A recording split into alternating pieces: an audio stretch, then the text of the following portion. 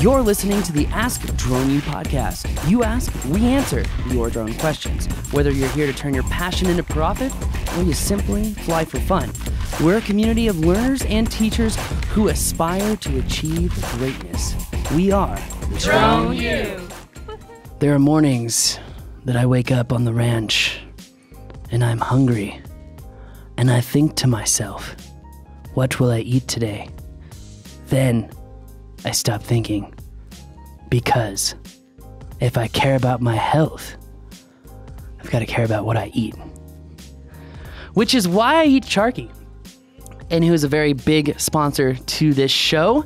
If you don't know about Charki, check it out on Amazon or go to Charki, C H A R K I dot website. Because if you're living the drone life, you're gonna need snacks. And if you wanna keep living the drone life, you've gotta take care of your health, which means you've got to be cognizant of what you eat. You don't want things full of preservatives. You don't want snacks full of high fructose corn syrup and all that crap. That's why you'll love the surprisingly good taste of Charki. Check it out, charki.website. Yes, that is a website. And welcome to another awesome episode of Ask Drone U. My name is Paul. And my name is Rob. Guess what episode this is, Paul? Uh, I think we just took a alcoholic shot. Celebratory beverage. The slurring of your celebratory It was- it all. It was not that celebratory, I promise you. Not yet. We are very professional around here. Anyway, uh, we are excited because, wow, 600 episodes, Rob. Yeah, I was just telling Paul, congratulations for making it through 600 episodes with the bald guy. And I said, I think it's actually the other way around. Why don't, why don't you guys vote? Tell us what you think. Who's luckier? it's probably Rob. And there's Oh, already no, they already it's- say in the drone U community, Paul looks like a handful. Ha ha ha. I am. You don't look like a handful. Anyway, oh guys, welcome to the show. What are we talking about today?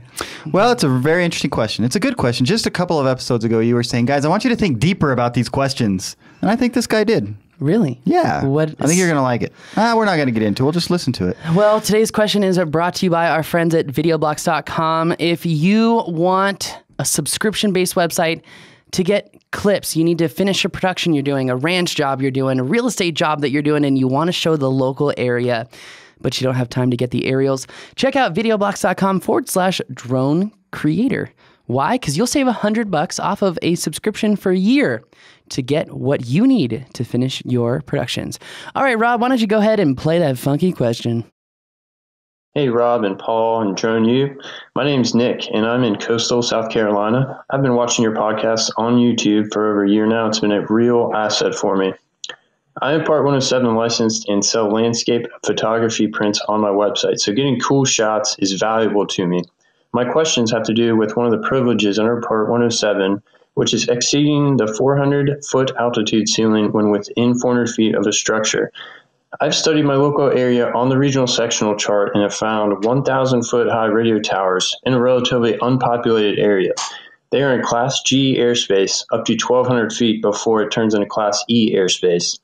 My intent is to use them to my advantage by flying near them so that I can legally fly higher than 400 feet in order to get a much better vantage point of the local landscape. My first question is Is this legal? And my second question is Is this ethical? I'm curious as to what you guys think. Thanks, guys. First of all, thank you very much for the question. Guys, if you have a question, go to askdroneu.com. We'd love to hear from you. I like that he included the ethical question as part of that. I do too. It means he's thinking beyond what just the law says is right and is wondering what's morally right. Yeah, what's the right thing to do? That's awesome. You know what? If more people thought that way, I, heck, let's get really philosophical size. You want to philosophize? Let's philosophize. All right. What a better world it would be. It'd be a better world if we were all philosophizers. That's right. But we're not. But most of us are hypocriticizers. Ooh, good word. I don't know if that's in the dictionary. I, I think it's in the George H.W. Bush dictionary.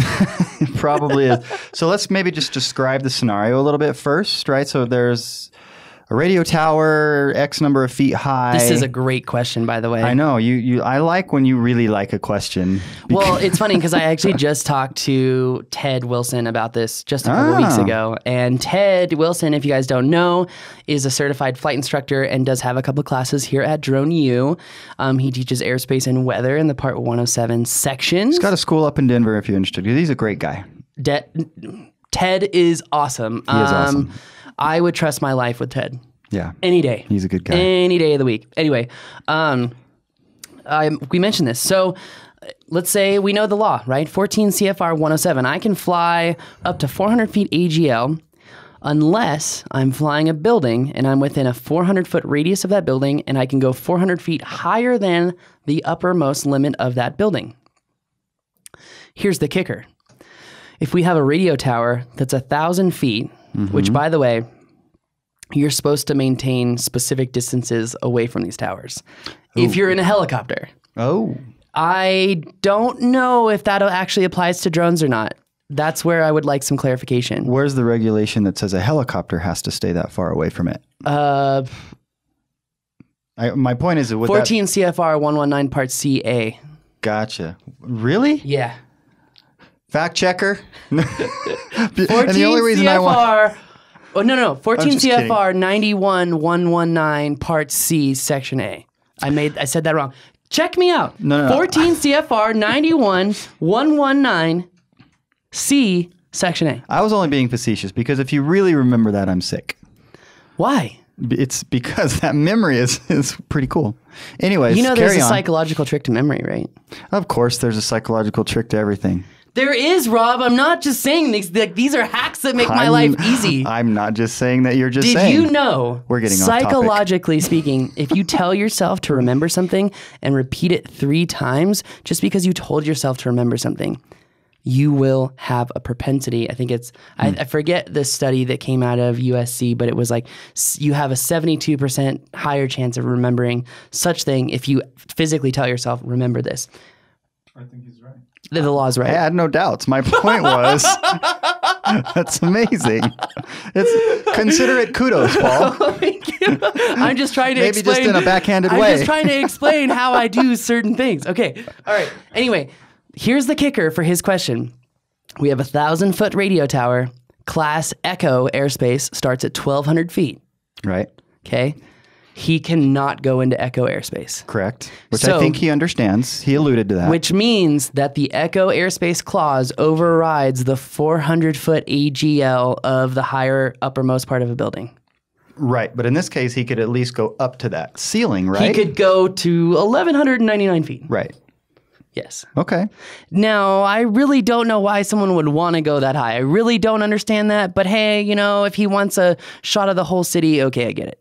Well, and that's what he was saying. I think he kind of gave us the background so we would understand why, and it's the kind of shots that he's trying to get. Totally. And like well, here in Albuquerque, we're totally lucky because we have the Sandias. So you can literally go to the top of the Sandias, which is a full 5,000 foot difference, mm-hmm. and then fly 400 feet above that. Right. But you can only get 400 feet away from that, right? So do what you will with that. Oh, yes, but that is why knowing the law is the only way to navigate the law because you can't navigate the gray area unless you're truly able to define black and white. Therefore, in this particular case, really not an ethical question. I mean, if he's talking about, eh, again, there's just not. I'm not. I was thinking of an examples, but like, if as long as you're being safe and you, nobody's you know at risk of getting hurt and those kinds of things, then yeah, you're fine. Yeah. Very interesting. So we got to give away a membership in this episode, Rob. no, that's 601 Oh, okay. because because he's in the running for the drawing, Ah, and, gotcha. and we haven't done the drawing yet. Can we enter Senator Feinstein in the drawing? if she'll, oh man, I cracked myself can you see up. her in the Facebook community? she would get lit up like a Christmas tree. yeah. Oh, All right, gentlemen, ladies, boys, and girls, thank you so much for listening to the show. Because of you, we're sitting here, peachy as can be, Having a good time. having a good time, doing what we love, recording episode number 600. That's going to do it for us today, guys. My name is Paul. My name is Rob. This is Ask Drone U.